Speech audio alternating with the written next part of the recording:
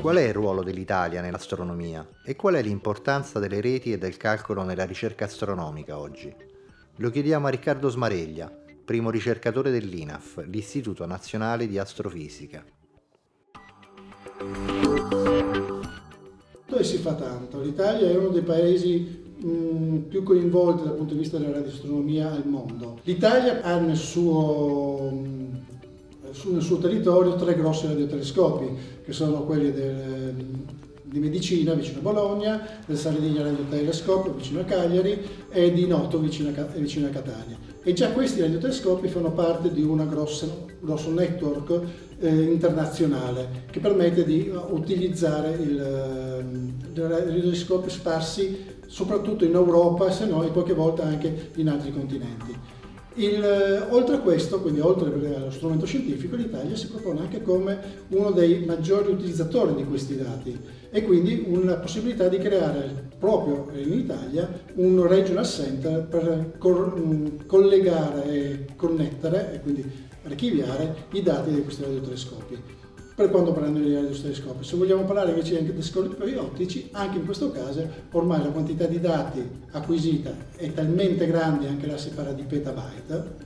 e proprio per questo l'Italia vuole utilizzare, vuole avere la possibilità di avere tutti questi dati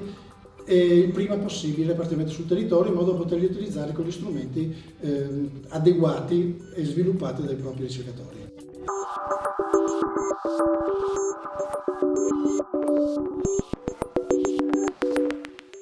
Le reti veloci sono essenziali per la qualità del, della ricerca scientifica di punta.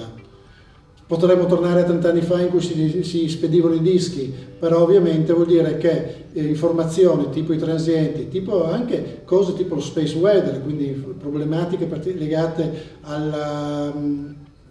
allo, sviluppo, allo, sviluppo, di tecnologie eh, satellitari, non si potrebbero fare e quindi la rete è essenziale per tutte le attività legate alla, radioastronomia, all'astronomia moderna.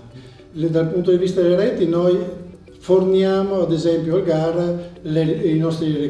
requirement, quindi le nostre richieste e gli chiediamo praticamente di darci la maggior banda possibile per spostare e per correlare i nostri dati.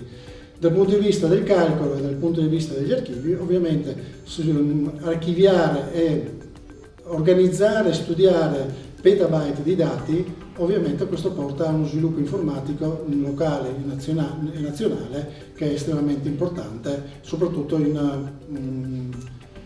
in, in, sia in collaborazione ma anche in concorrenza con le, le altre nazioni, perché ovviamente è tutta una gara nel riuscire praticamente a dare l'informazione scientifica più importante e prima, degli altri, anche in questo campo. Si pensi, il concetto di calcolo ha una vita media praticamente di tre anni, dopodiché l'informatica, il computing, l'archiviazione, i dati e storage va aggiornato, va, eh, va, cambiato, va cambiato. Mentre un telescopio tipo il Sardina Radio Telescope può durare per un, qualche decina d'anni, con tutta la manutenzione, già i suoi sensori praticamente vanno aggiornati molto velocemente perché la tecnologia è estremamente veloce anche in questo campo, ancora di più dal punto di vista dell'informatica. L'INAF è collegata sui, in media sui 10 gigabit al secondo con, tra le varie sedi localmente. La nostra richiesta a breve termine per poter lavorare con SCA sarà sui 100,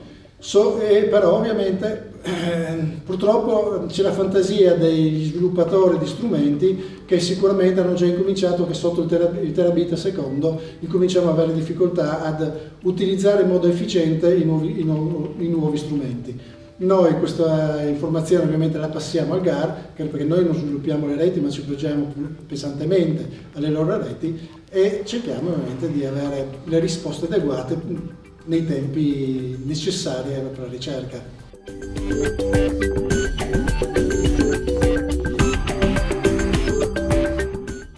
Allora, se parliamo di radiotelescopi, eh, lo Sky Organization ha, eh, è un'organizzazione internazionale appena fondata, l'International Development Organization, IGO, ed è eh, strutturata con un, una, una, la, eh, quartier generale presso ehm, in Inghilterra, vicino a Manchester, Jordan Bank, e ha i telescopi distribuiti essenzialmente tra l'Africa, il Sudafrica e certi paesi vicino a Sudafrica e l'Australia. In mezzo ci stanno le reti per la trasmissione dei dati. E trasmissione dei dati che una volta che questi sono arrivati dai radiotelescopi al centro dati locale principale, perché là si parla ancora di, di velocità ancora maggiore e soprattutto di dati ancora maggiore, devono essere distribuiti e spostati in Europa. Quindi dal Sudafrica devono arrivare praticamente verso l'Europa, dall'Australia devono arrivare verso l'Europa nel tempi, come ho detto, eh, utili a una ricerca scientifica adeguata.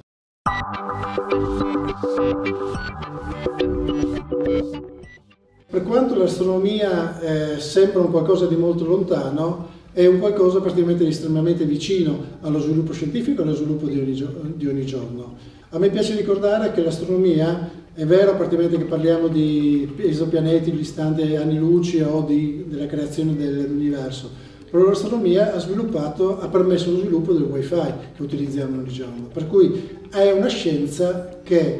è essenziale per lo sviluppo della società